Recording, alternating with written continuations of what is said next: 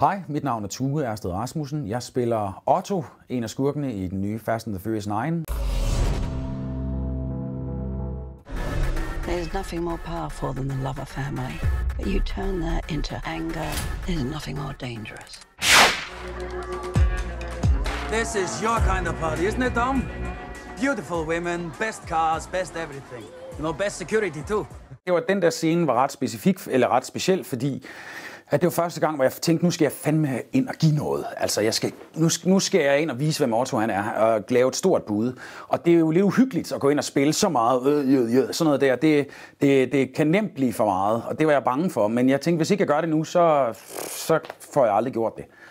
Og øh, heldigvis reagerede Vin rigtig godt. Han var sådan, yeah, welcome to the set, man. Really great work, yeah. Altså, han var sådan, han peppede mig lidt, og bagefter stod vi, altså, det var, jeg føler faktisk, det var den aften, vi, vi klikkede øh, rigtigt første gang. Den nat, de, de to nætter, det tog at filme den scene. I'm Otto, I'm your brother's partner.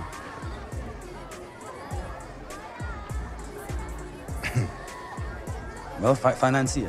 Så i løbet af dagen, der kommer de her superbiler, så er en, der parkeres hele vejen rundt. Der er en, hvad hed det mærke, et, en håndbygget britisk øh, superbil, der kostede 22 millioner pund som jeg fik lov til at sætte mig ind i og starte og sådan noget. Det lignede Batmobilen altså.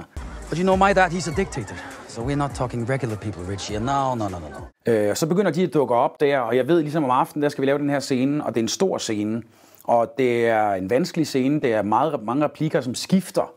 Øh, og jeg, jeg havde lavet mit bud på det og forberedt mig på det, og så kommer ligesom de her 400 modeller i hvidt tøj. Everything you see here, I own. These girls, if you want to meet one of them, maybe two, maybe three, just let me know. They're on the payroll. I have a bum-ass dental plan too.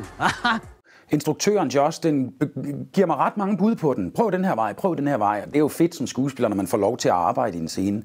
Og forfatterne begyndte også, så kom den ene over og sagde, hvad nu hvis vi tilføjer det her bid? Hvad med det her? Det der med den test, kan vi ikke arbejde lidt med det? Kan vi gøre noget her? Kan vi, du ved, og så, hvad, nu hvis vi tager den her del af teksten og rykker den op i starten, og så får du lige en ny del af teksten, så kan du lige sætte den ind her, og så kan du lige gøre det her, du ved. Og jeg stod og tænkte, jo okay, på et andet sprog, på en accent, jo, det kan jeg godt, altså. Så lærte jeg så ind at levere, og så, når Vind så står der, så gør han alligevel, du ved, han Vind finder sin vej i det, og så må du bare ligesom bare lægge dig ind i det og sige, okay, nu gør han sådan, så gør jeg sådan her. Where's Checker?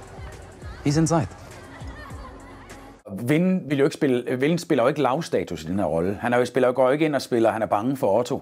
Så jeg ved, det, det er jo ikke fordi, at vi skal stå og lave sådan en, hvor jeg synes, skal stå og prøve at spille overvarm. Det, det tænker det er ikke, det, det er ikke der, jeg skal, jeg, skal, jeg skal lave noget. Så kan det være, at jeg kan lave noget øh, med, med håndtrykket, der ikke lykkes, øh, som var på manusplanen. Hvordan kan vi få det til at fungere? Hvordan bliver han finde de små løsninger, der gør, at jeg ligesom kan spille rundt om, om, om det, som han laver. Han har hovedrollen, så jeg skal jo jeg skal prøve at støtte op om ham. Ikke? Så det var, det var en stor oplevelse at lave den der scene, og en, en, en kæmpe, kæmpe setup. Jeg tror, der var, jeg tror, der var 1.500 mand bag kameraet den dag. Bag kameraet. Likes to be